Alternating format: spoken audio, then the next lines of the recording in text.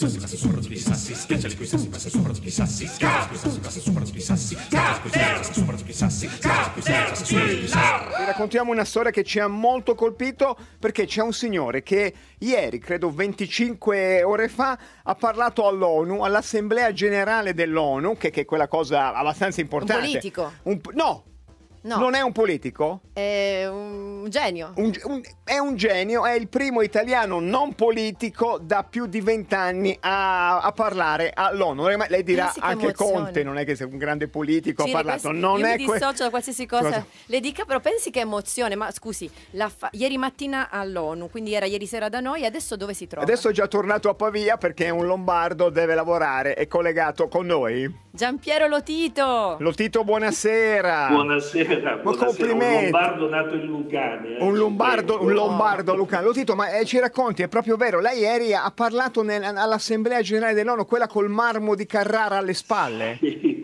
E lì sì, l'orgoglio eh, toscano di Cini esce fuori.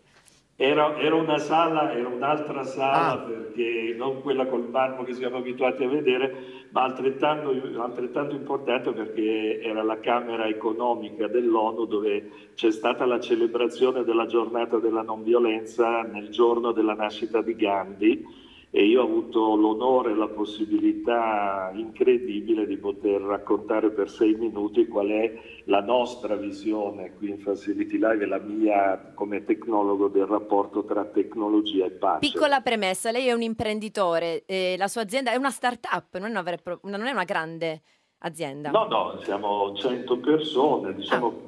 non piccola, però è, è- è nata con l'idea di diventare una, una azienda globale del software e ci stiamo piano piano Cioè. Bill Gates se la sta facendo sotto perché lei, Lotito, sta arrivando. Senta, eh, no, ci- ci- che, che cosa ha detto? Cioè, quindi lei ha parlato di, di- di pace e tecnologia. Noi, noi ne approfittiamo per ricordare che domenica c'è la Perugia Assisi, la grande marciona della pace che tanto ci Analogica, piace. analogica, ma lei che nel mondo del digitale è start-upper coi capelli bianchi, cosa Sì. ha detto in quei sei minuti?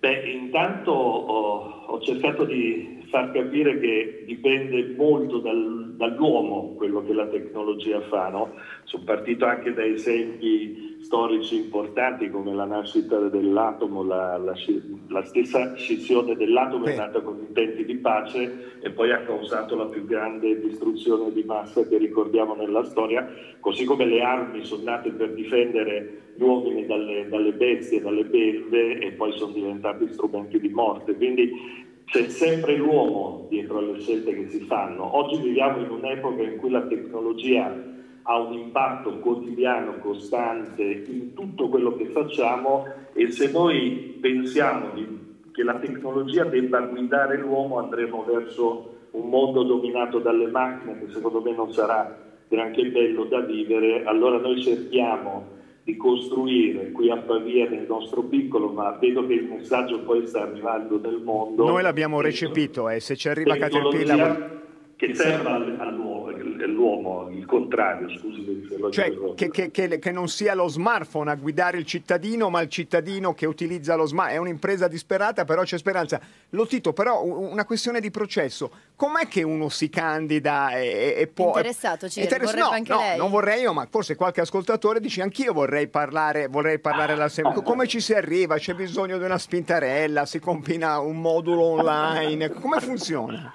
No, beh, io sono stato mo- molte volte ospite di media globali. La, la settimana scorsa ero ospite del telegiornale della BBC, il GMT, il telegiornale più visto al mondo. Tra le altre cose mi hanno fatto un'intervista sulla situazione italiana e sulla, sulla- sulla- sul DEF. Lei era la preparato? settimana prima ero alla, alla CNN. Lei era preparato sul DEF perché è complicatissima questa storia qui.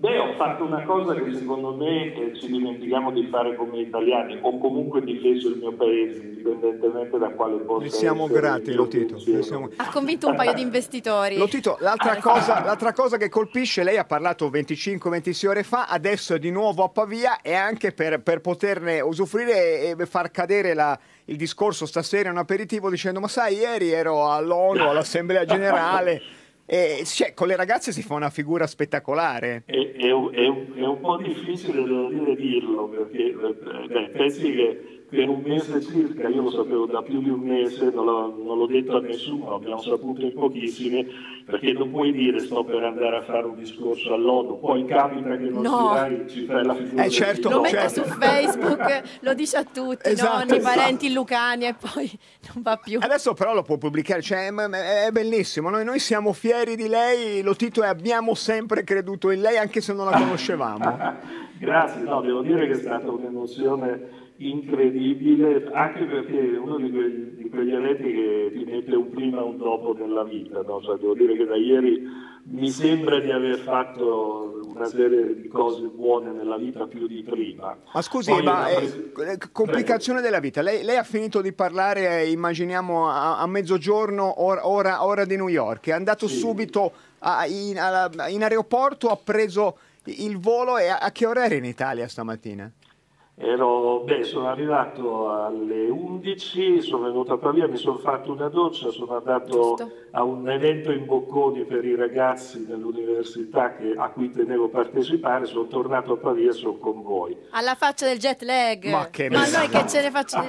Ma lei può stare sveglio per sei giorni adesso almeno. Eh, No, stasera devo guardare la mia Inter perché poi ho anche questo difetto. Cioè, anche de- cioè, parla, parla all'ONU e coltiva anche il calcio. C'è gente contenta dall'altra parte del vetro qui in Corso Sempione di questa notizia. Allora lo lasciamo riposare. Forse è anche ora di che si rilassi sul divano. No? Assolutamente. Lo Tito, E grazie. con- continuo ad ascoltarvi. Grazie. Grazie, noi Tenga continu- la radio accesa. accesa, accesa, grazie, grazie. Eh, Giampiero Lotito ha parlato all'ONU e a Caterpillar, che sono Sai un po' che- due assemblee generali di diverso livello, più apprezzata Una Caterpillar. notizia bella proprio perché uno dovrebbe provare invidia per una storia del genere, invece è stato così simpatico che provi gioia e basta. Io un po' di invidia ce ce l'ho, insomma, no. perché lui ha parlato all'ONU e io parlo... Ma lei è così, Vabbè. Giri, che dobbiamo fare? Caspita, si passa sopra sui sassi, caspita, si passa sopra sui sassi, caspita, si passa sopra sui sassi.